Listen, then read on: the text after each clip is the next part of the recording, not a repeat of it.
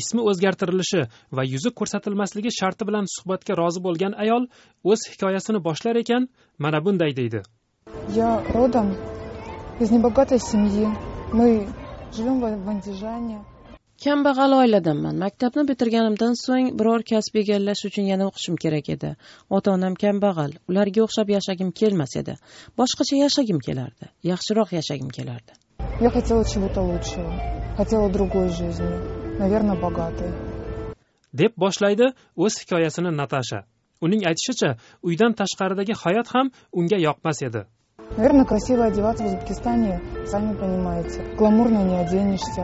O'zbekistonda ochiqroq kiyinolmaysan odmi kiyinib yurishga majbursan. Дорогие джинсы себе не сможешь позволить. Все должно быть строго. Deb zorlanadi u. Natasha boshidan kechirgan va olti oy davom etgan sarguzashtning qisqa bayoni budir turkiyada yashaydigan dugonasi uni o'zi yashayotgan mamlakatga kelishga qiziqtiradi. Natasha andijondan o'shga o'tadi. Kutib olganlar uning qo'liga qirg'iz pasportini tutqazishadi va turkiyaga uchirib yuborishadi. Turkiyada dugonasi emas allakimlar kutib oladi. O'sha allakimlar qo'lida olti oy fohishalik qilishga majbur bo'ladi. Doimiy mijozlardan biri uni fohishaxonadan qutqarib qirg'iziston konsulligiga yetkazadi.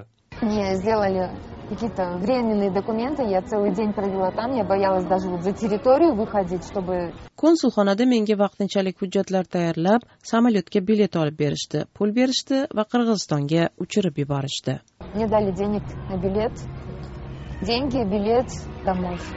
Deydi natasha gapi mazmunidan o'shga qaytib borgach natashaning andijonga uyiga ham o'tib qaytgani tushuniladi bechora onam olti oyda bir necha yilga qarib ketibdi deydi u alam bilan. Natasha ishtirok etgan filmda aytilishicha u shu kunda o'shda yashamoqda va pirojka sotish bilan kun ko'rmoqda. Xo'sh nima uchun natasha andijonda qolmabdi? Ozodlik bu savolni film mualliflaridan biri aygerim aqlbekovaga berdi. Bunday savol berish birinchidan negadir xayolimga kelmabdi. Ikkinchidan suhbatimiz oldindan kelishib olingan savollar doirasidan chiqmasligi kerak edi dedi aygerim. Ruscha gapirgani yuzi ko'rsatilmagani uchun andijonlik natashaning qaysi millatga mansub ekanligini aytish qiyin. Lekin o'shning katta ko'chalaridan birida faxsh savdosi qizigan oqshom payti xufiya kamera bilan tushirilgan tasvirda qirg'iz millatiga mansub qo'shmachi ayoldan o'zbek fohishlari bor yo'qligi to'g'risida so'ralgani aks etgan. Qo'shmachining aytishicha ikki ming o'ninchi yil iyun voqealaridan keyin uzbechkalar ko'chaga deyarli chiqmay qo'ygan. Ularni asosan saunalardan topish mumkin. O'zbek fohishalari qayerlik degan mazmundagi savolga qo'shmachi o'zbekistondan boshqa joylardan mahalliylar oz deb javob bergan. Azaddiq radiosi suratga olgan va birinchi qismi uchinchi sentyabr kuni qirg'iziston davlat televideniyasida namoyish qilingan seksual quldorlik qurbonlari filmida olti yuz qirq bir ayol bedarak yo'qolgan degan yozuv bir necha bor ko'rsatiladi. Film mualliflaridan biri aygerim aqlbekovaning ozodlikka aytishicha bu ikki ming o'n uchinchi yil davomida qirg'iziston hududida yo'qolganligi rasman qayd etilgan ayollar sonidir. Olti yuz qirq bir yo'qolgan ayolning hammasi ham qirg'izistonlik emas. Ular ichida boshqa davlat fuqarolari jumladan o'zbekistonliklar ham bo'lishi mumkinligini huquq tartibot organlari xodimlari bizga aytgan. Yo'qolganlarning taqriban yarmi fohishalik bilan shug'ullanganlardir dedi aygerim. Yana bir gap. Film mualliflari huquq tartibot organlari xodimlari fohishalarning o'zlari va ular bilan bog'liq masalalarni o'rganuvchi mutaxassislar bilan o'tkazgan suhbatlari asosida mana bu fikrga kelgan.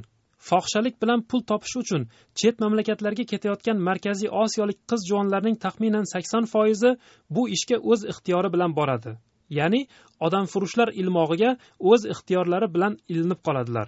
Bishkek shahar ichki ishlar boshqarmasining odam savdosiga qarshi kurash bo'limi boshlig'i salomat adilov film mualliflari bilan suhbat chog'ida qiz juvonlarni fohishaga aylantiruvchilarning hiylalari haqida gapiradi.